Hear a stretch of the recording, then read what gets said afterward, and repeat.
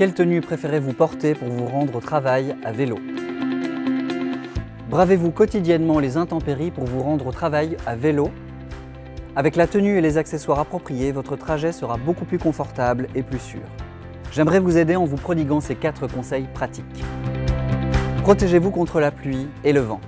De la bruine à l'averse, en Belgique, les cyclistes doivent toujours être parés pour quelques gouttes de pluie. Vous voulez éviter d'être tout trempé au bureau? Dans ce cas, optez pour un bon manteau de pluie, à la fois imperméable et respirant.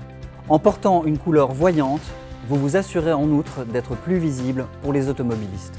Grâce au système des trois couches, vous n'aurez jamais froid à vélo. Portez une veste polaire et des sous-vêtements techniques sous votre manteau de pluie afin de pouvoir ôter rapidement une couche au cas où vous auriez trop chaud. Complétez votre tenue par un pantalon de pluie ou optez pour la solution alternative suivante, le poncho de pluie qui fait office de vent pour vos jambes. Également pratique si vous souhaitez éviter de mouiller vos chaussettes, le set de surchaussures en Gore-Tex ou une autre matière imperméable. Placez une housse anti-pluie par-dessus votre casque de vélo et votre sac à dos en cas de forte pluie.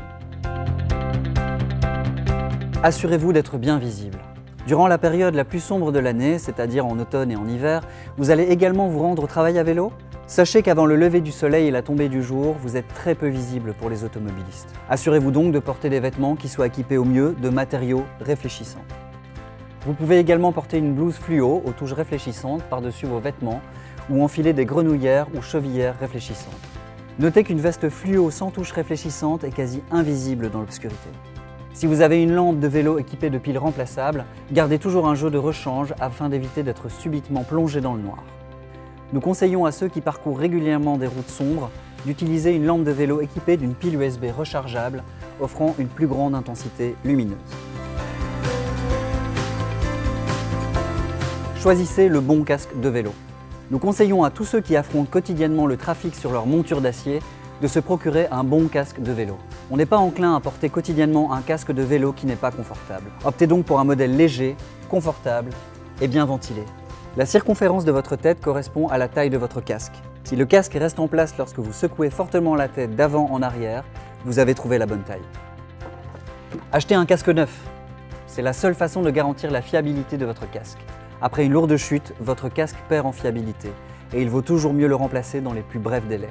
Veillez à ce qu'il satisfasse la norme européenne EN 1078. C'est même obligatoire pour les vélos électriques rapides. Achetez une sacoche de vélo. Avec une sacoche de vélo robuste, inutile de vous préoccuper des affaires que vous emportez tous les jours sur votre lieu de travail.